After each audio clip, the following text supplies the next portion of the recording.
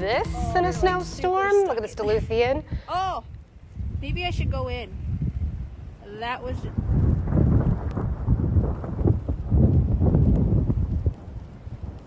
Oh my gosh.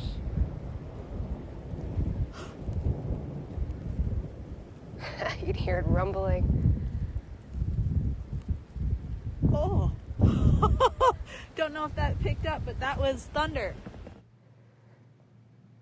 Thunder snow out there in Minnesota. Noelle, have you ever heard anything like that before? No, I have not. She's like, maybe I should go in. I'm like, maybe I should go in is right because that's what I would be saying. That's scary. Seriously, I talked to her too. She was just taking an innocent video at 7:40 in the morning, just oh. trying to show her parents in Florida that it was snowing, and then that happened. Snow thunder. Who knew?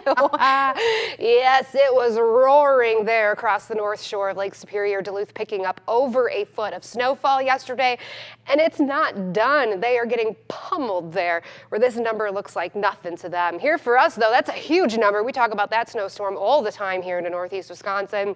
Last winter, the biggest storm that we put down was about six and a half inches there. Now, Iola, you're coming in at nine inches. These snow totals still being reported here. There's probably a lot more out there than actually being reported, but I will say about three to four inches seems accurate from when I left at 2 a.m. into Appleton and Green Bay as well. Look at these ice-covered, snow-covered, slick and slippery roads out there. Be careful at intersections, even if they look plowed. All of that traction and friction with the tires, and then the ice melt on top of it, and then new freezing temperatures, it is slick and slippery through there. Give yourself extra stopping distance. Stop way early. Stay away from those plows and those other cars. We're already seeing accidents being reported on I-41 all throughout the morning hours. It is ice covered out there, those road conditions, and slippery and slushy, okay? So we're also dealing with barely any visibility into Pembine and Ephraim, where it is still coming down pretty heavy.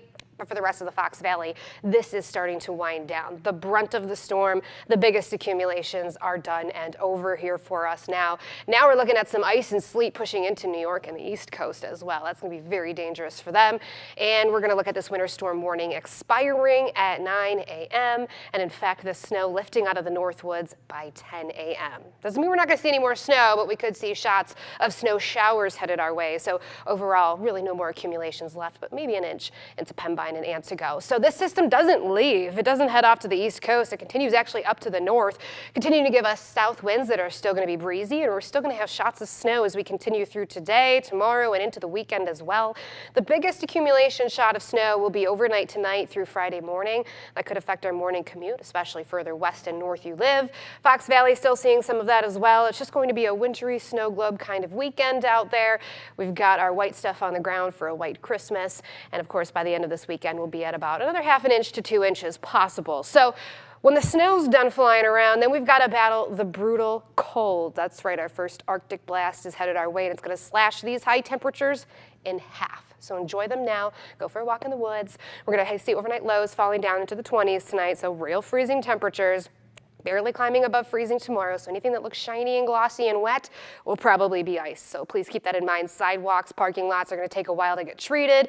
We will start to see the sunshine by Sunday and Monday, but if we talk about Monday for that game, putting some wind chills on top of those highs only in the teens, it's really going to feel like about zero degrees at kickoff for that Packers game. It's going to feel like nearly negative 15 to negative 20 by the time that game is said and done. That's the case as we head through next week and quite the extended period as well. So whew, take a deep breath. I hope you guys are sitting down for that because winter's here. No, it is. The first real snowfall, and now get ready for the cold. Yes, be safe, everybody. Thanks, Brittney.